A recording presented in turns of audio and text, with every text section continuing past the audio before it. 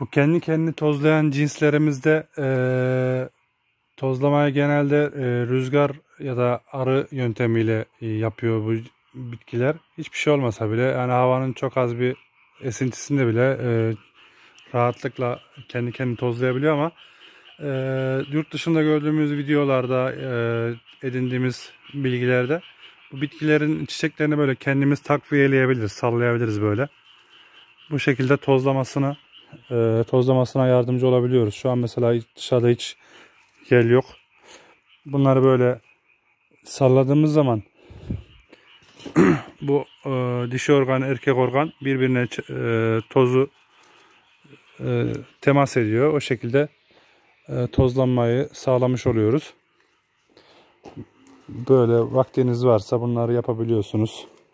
Yoksa da çok önemli bir şey değil aslında ama ben mesela bugün biraz vaktim vardı. Bunlara zaman ayırayım dedim. Bu şekilde sallayarak döllemesine yardımcı oluyoruz. Cinsimiz magenta.